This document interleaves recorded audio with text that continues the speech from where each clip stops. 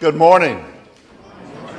We have a lot of announcements this morning. Uh, I think it's kind of obvious we have a few quilts in the church we're going to bless.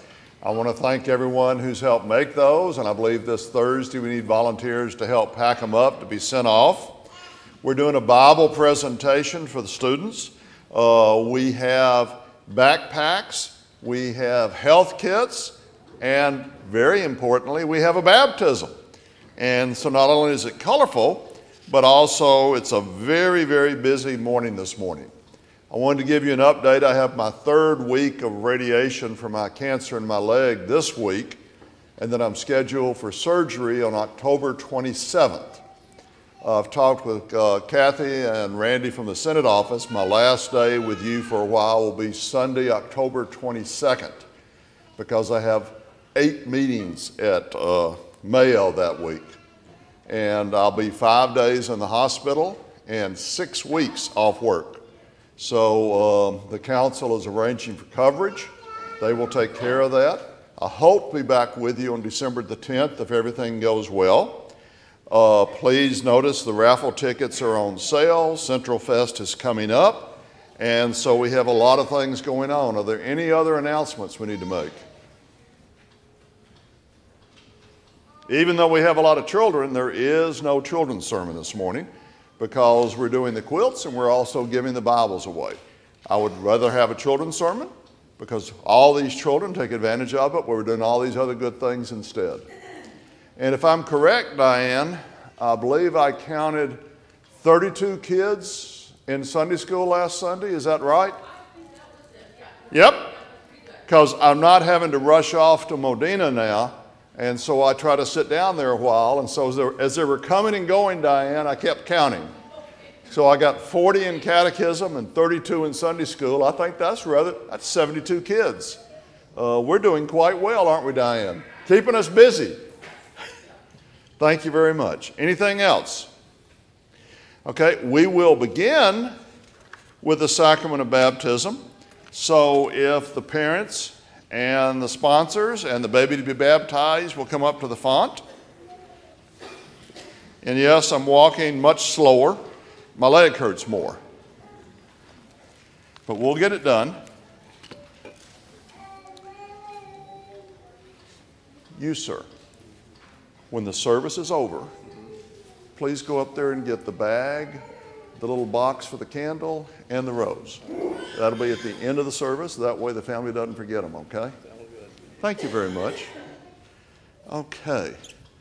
Who all are our sponsors? My brother Scott, Josh, and my brother Zach. Okay. And as I said to them when they came in at the end of the service, y'all can come back up here and take a million pictures if you want, okay?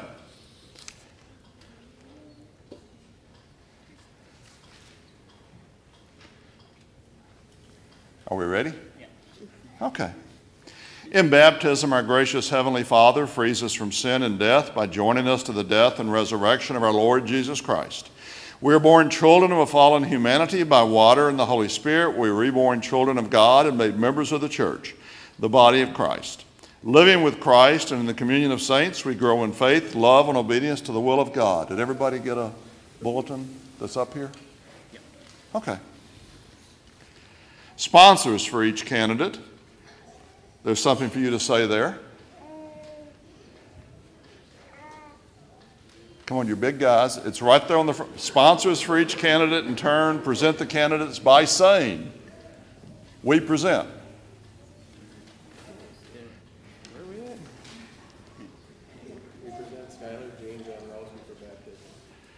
Thank you. As you bring Skylar to receive the gift of baptism, you are entrusted with responsibilities to live with her among God's faithful people, bring her to the Word of God and the Holy Supper, teach her the Lord's Prayer, the Creed, and the Ten Commandments, place in her hands the Holy Scriptures, and nurture her in faith and prayer, so that Skylar may learn to trust God, proclaim Christ through word and deed, care for others and the world God made, and work for justice and peace. Do you promise to help Skylar grow in the Christian faith and life? And the response is? We do. That's much better. Sponsors, do you promise to nurture Skylar in the Christian faith as you are empowered by God's Spirit and help her live in the covenant of baptism and in communion with the church? We do. Okay. Now, the church. People of God, do you promise to support Skylar and pray for her in her new life in Christ?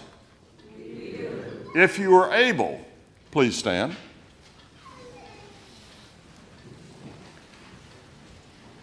For the parents, the sponsors, and the congregation, I ask you to profess your faith in Christ Jesus, reject sin, and confess the faith of the church. Do you renounce the devil and all the forces that defy God? I renounce. Do you renounce the powers of this world that rebel against God? I renounce. Do you renounce the ways of sin that draw you from God? I renounce. Do you believe in God the Father?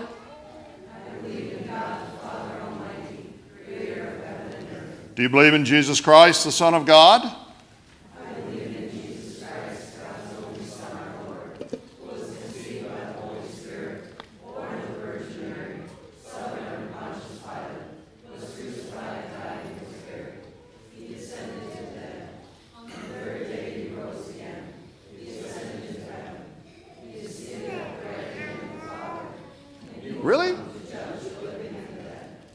Do you believe in God, the Holy Spirit? I believe in the Holy Spirit, the Holy Catholic Church, the saints, the forgiveness of sins, the resurrection of the body, and the life everlasting.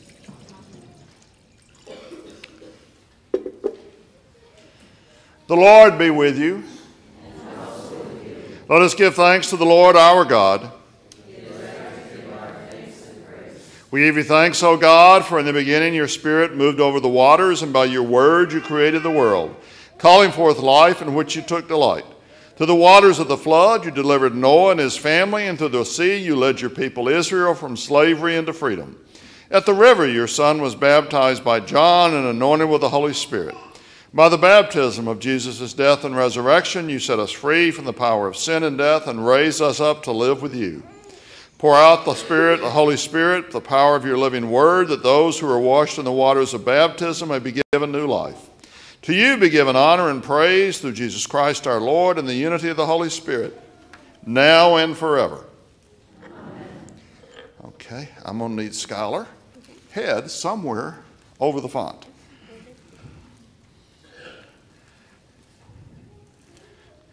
You're not going to like this. Skylar, I baptize you in the name of the Father, and the Son, and the Holy Spirit. Amen. Very good, very good. Dad, why don't you dry the head? Yes, I agree completely. Let us pray. We give you thanks, O God, that through water and the Holy Spirit you give your daughters and sons new birth, cleanse them from sin, and raise them to eternal life. Just go ahead and sit there. Skylar, would you put up with me for a minute? Sustain Skylar, with the gift of your Holy Spirit, the, spirit of wisdom and understanding, the spirit of counsel and might, the spirit of knowledge and the fear of the Lord, the spirit of joy in your presence, both now and forever. Amen. Okay, Skylar, if you love that, you're going to love this. Child of God, you've been sealed by the Holy Spirit and marked with the cross of Christ forever. Dad, I'm going to hand this one to you because I don't want this anywhere near young Miss Skylar. Let your light so shine before others they may see your good works and glorify your Father in heaven. Would you turn and face the congregation, please? Let us welcome the newly baptized.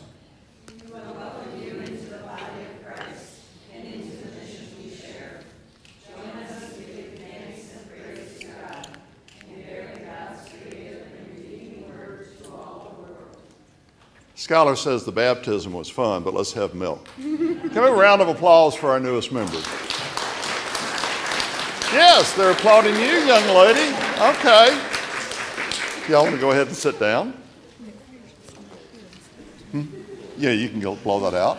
And, sir, this, sir, this and this are also theirs at the end of the service. Thank you.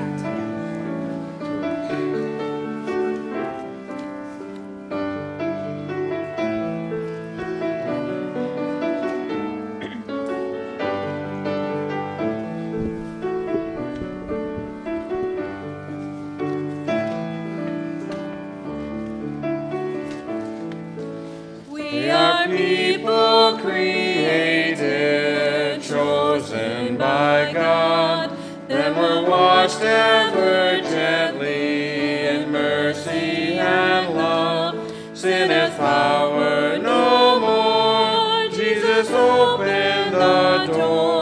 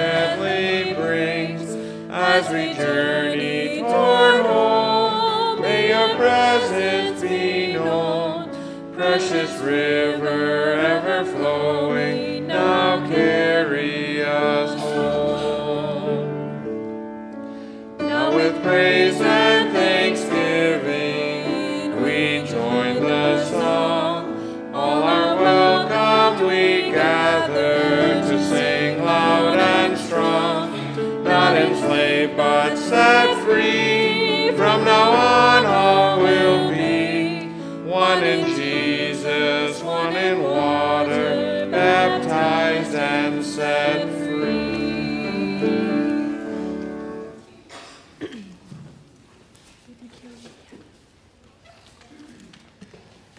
The grace of our Lord Jesus Christ, the love of God, and the communion of the Holy Spirit be with you all.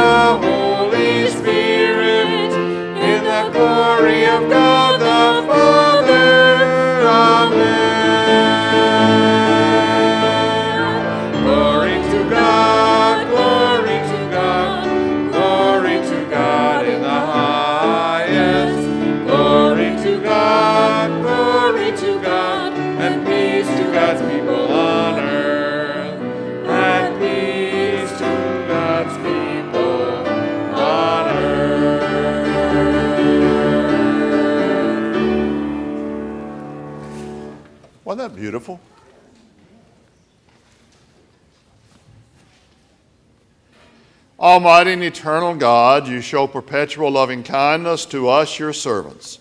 Because we cannot rely on our own abilities, grant us your merciful judgment and train us to embody the generosity of your Son, Jesus Christ, our Savior and Lord. And we're about to get more beautiful music.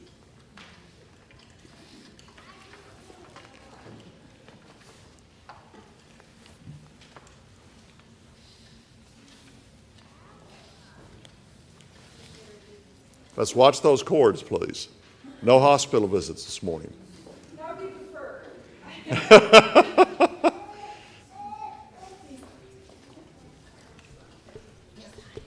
Thank you, David.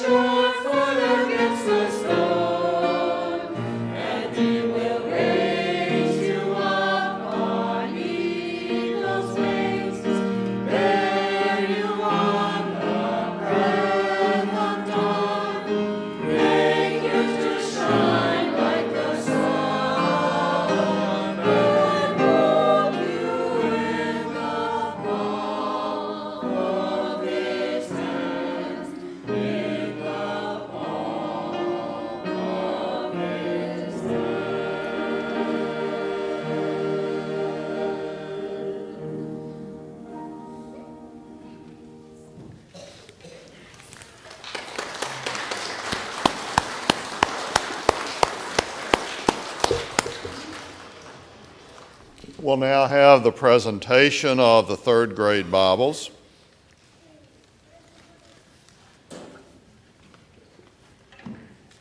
We get to share a bench.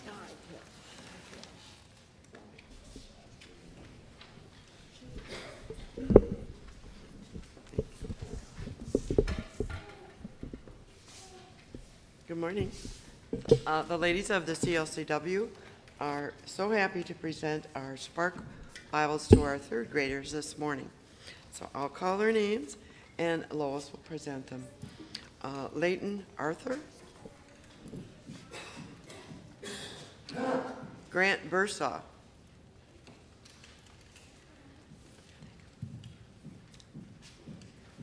This is Leighton.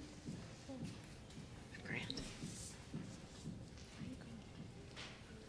Lyle Carlson. Madeline Davidson. There she is. Good morning. Lila Miller.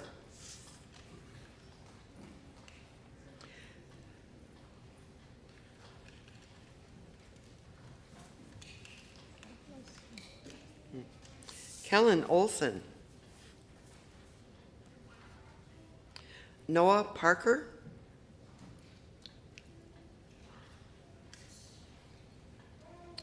Cade Reagan.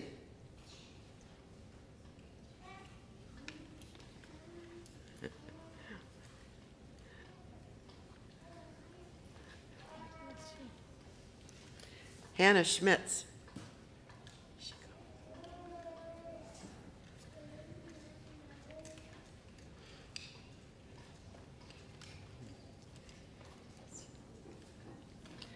Nevea Tuttle. Kinsley Wolf.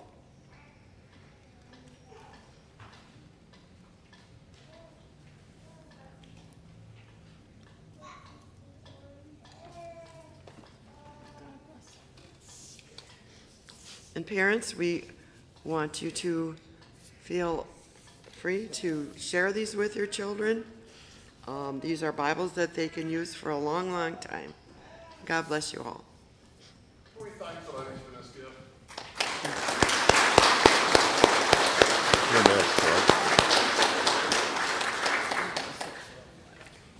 Praise the Lord.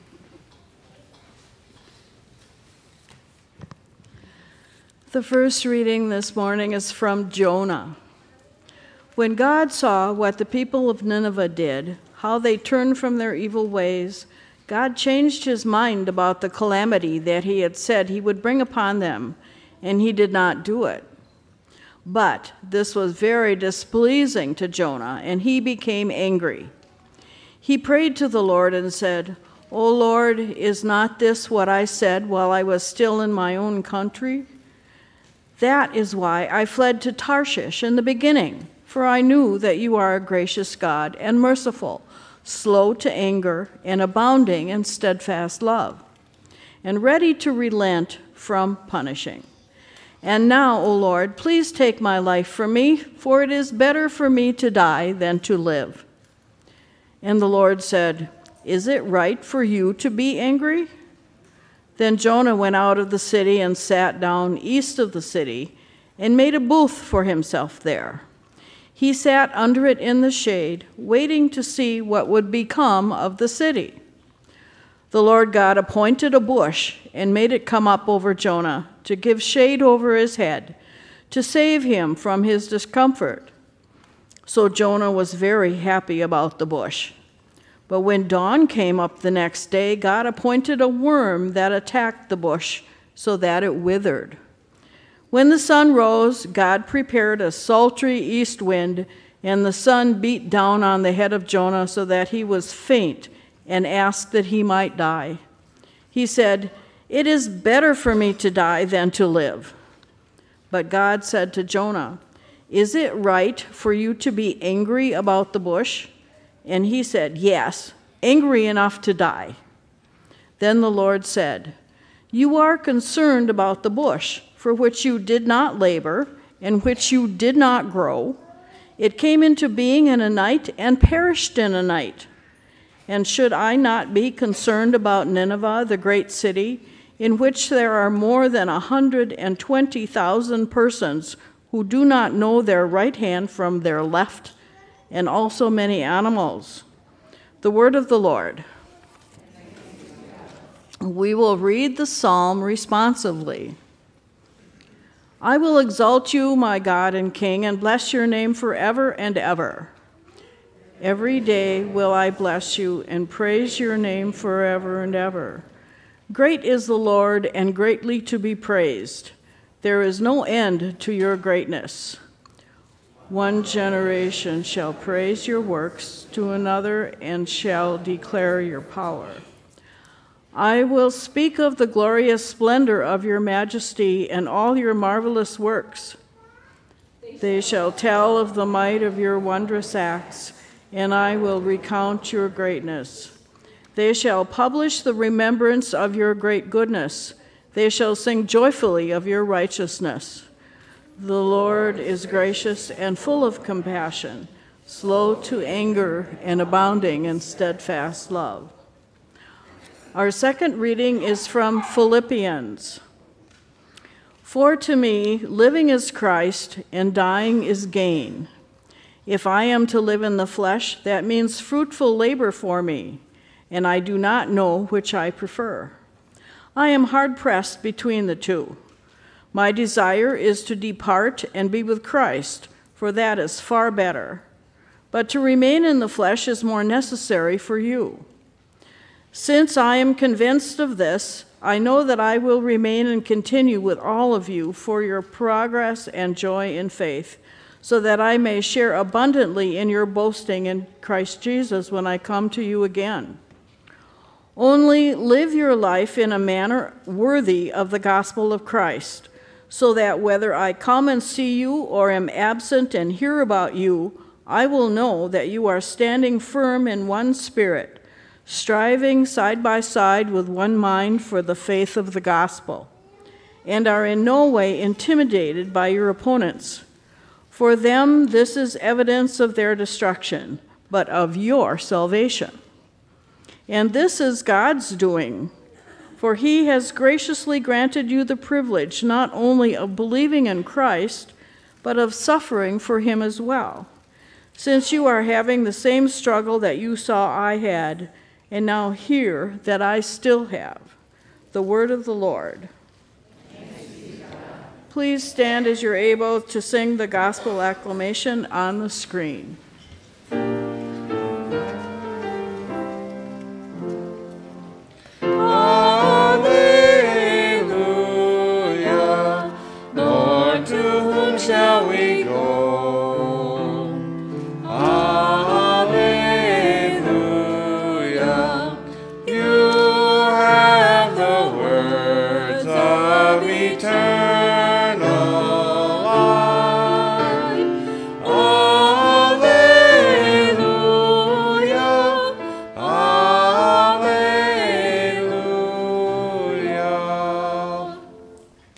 The Gospel according to St. Matthew, the 20th chapter. Glory to you, O Lord. Jesus said to the disciples, The kingdom of heaven is like a landowner who went out early in the morning to hire laborers for his vineyard. After agreeing with the laborers for the usual daily wage, he sent them into his vineyard. When he went out about nine o'clock, he saw others standing idle in the marketplace, and he said to them, You also go into the vineyard, and I will pay you whatever is right. So they went. When he went out again about noon and about three o'clock, he did the same. And about five o'clock, he went out and found others standing around, and he said to them, Why are you standing here idle all day? They said to him, Because no one has hired us. He said to them, You also go into the vineyard. When evening came, the owner of the vineyard said to his manager, Call the laborers and give them their pay, beginning with the last and then going to the first. When those hired about five o'clock came, each of them received the usual daily wage. Now, when the first came, they thought they'd receive more. But each of them also received the usual daily wage. And when they received it, they grumbled against the landowner, saying, The last worked for only one hour, and you've made them equal to us, who have borne the burden of the day and the scorching heat. But he replied to one of them, Friend, I am doing you no wrong. Did you not agree with me for the usual daily wage? Take what belongs to you and go. I choose to give this last the same as I give to you. Am I not allowed to do what I choose with what belongs to me? Or are you envious because I am generous? So the last will be first, and the first will be last. The gospel of the Lord. May the words of my mouth and the meditation of my heart be acceptable in your sight, O Lord, my rock and my redeemer. Please be seated. It sounds like we're in a labor union dispute this morning. Notice, though, how we begin the gospel lesson. The kingdom of heaven. The kingdom of heaven is different than on earth. The landowner calls those to work in the vineyard. They agree to the usual daily wage, but the ones who work only an hour, he pays as much as the ones at the first, and they say, Well, this isn't fair. And he says, Did I not agree? Did you not agree to what I gave you? We need to go back to Jonah to understand for a minute because God is full of generosity. God is extravagant with his generosity. Nineveh. Nineveh was a sinful city, and God was going to punish it for his sinfulness. But he wanted Jonah to go there and walk through the city and tell them it would be destroyed unless they repent and turn to God. And I hope you remember the story. Jonah got on a boat and went the other way. There was a horrible storm that came up. They thought Jonah was the cause of it. They throw him off the boat. A whale swallows him, and I think it actually says a big fish, and spits him up on the beach in front of Nineveh. Well, Jonah gets very angry because he doesn't want the people of Nineveh to be forgiven. He wants them to be punished because that's what they deserve. And then he walks through the city, apparently with his head down, muttering, Destruction will come upon the city unless you repent. And then, as Jonah knew it would happen, they repented and God forgave them. And we hear the story this morning. Jonah is not full of extravagant mercy and generosity. God, however, is not only with the people of Nineveh, but with us. We're able to baptize a baby because the baby hasn't done anything to earn God's love. It's simply a gift, it's simply grace. None of us have done anything to earn God's love. We don't stand before our Maker and list all of our good deeds and our bad deeds and like a merit badge in the Boy Scouts. Well, if you get one more, you're good. Jesus Christ said, Father, forgive them, for they know not what they do, from the cross as he was dying. Jesus Christ died for each one of us and for our sins. And we are beloved of God. God loves each of us, especially our baby this morning that we baptize, because that is what grace means. Grace is always a gift. God is extravagant with God's grace. When I was serving in Ohio. I met another pastor. She had been a teenager growing up in rural Kentucky. I do not remember what denomination, but the denomination talked about hell and fire and brimstone a lot. And basically, as she put it, they tried to scare you out of hell and into heaven. Well, she went to a Lutheran Bible camp. And she said they kept work talking about this funny word, grace. And it meant it's given to you. It's a gift. It's given to you in the same way that your parents love you. It's given to you because God loves you. Well, she joined the Lutheran church and she became a pastor because she fell in love with God's grace. God fell in love with each and every one of us, especially Skylar this day. God says to each and every one of us, I have more than sufficient grace for you. There is nothing you can do that will set you apart from me. When you turn from me, I invite you back. I love you. And out of that love comes that relationship we have with God and with Jesus Christ. Today we baptized in mercy and grace. Every day you are a beloved child of God. And His abundant mercy, His abundant grace washes over you just like the water over Skylar. And you are forever loved by God our Father. Amen.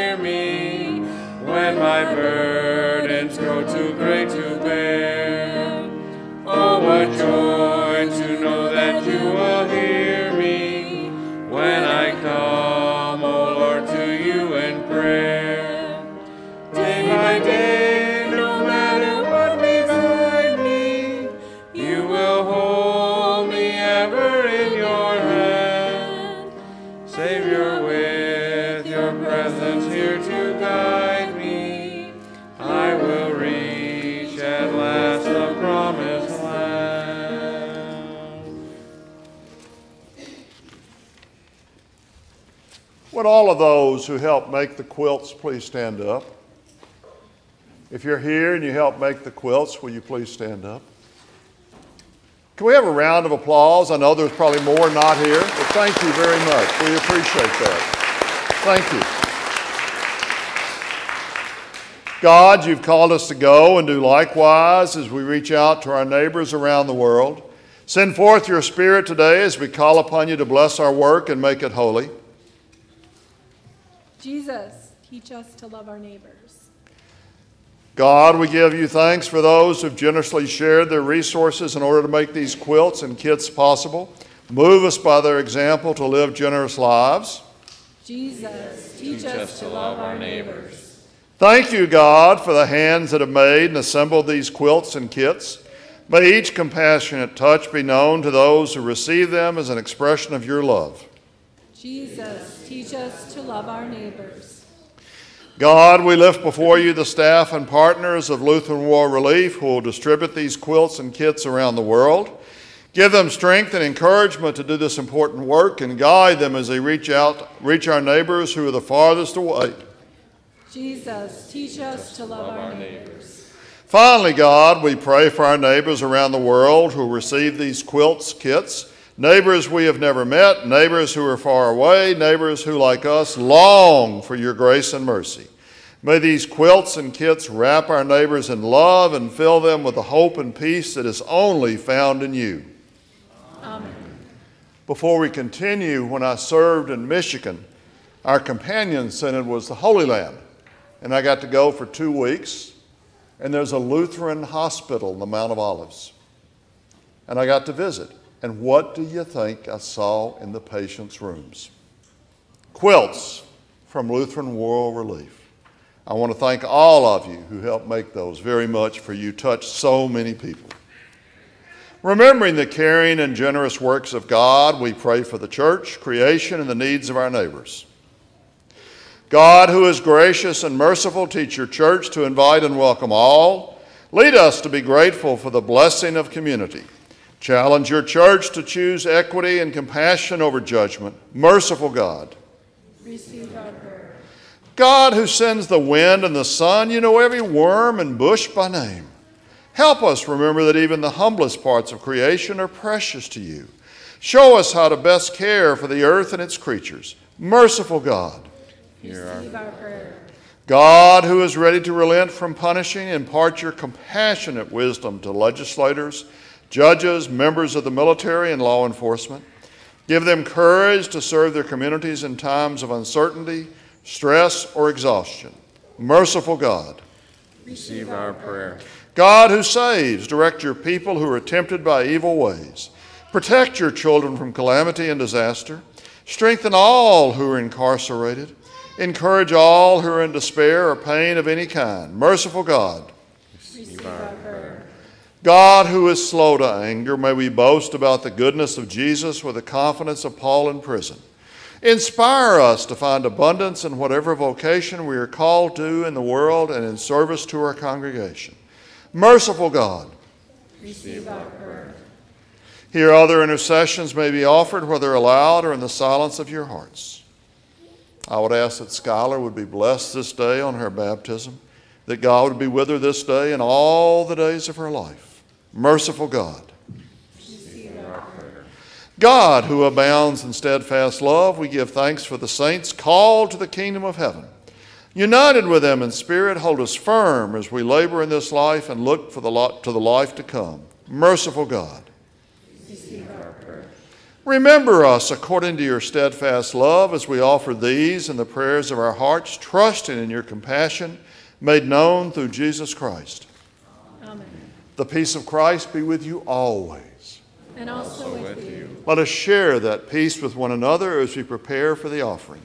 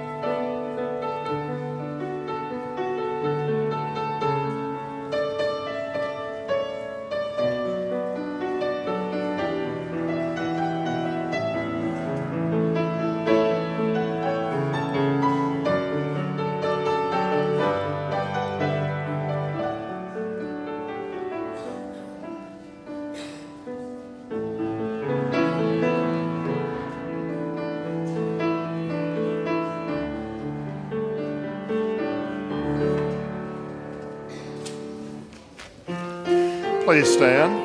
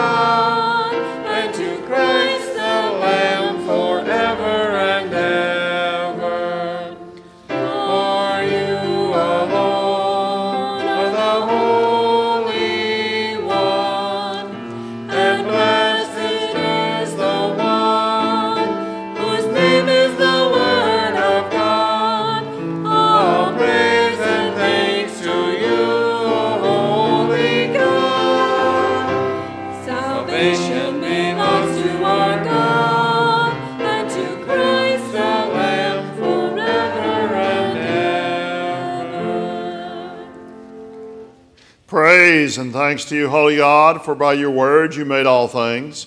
You spoke light into darkness, called forth beauty from chaos, brought life into being. For your word of life, O God, We give you thanks and praise.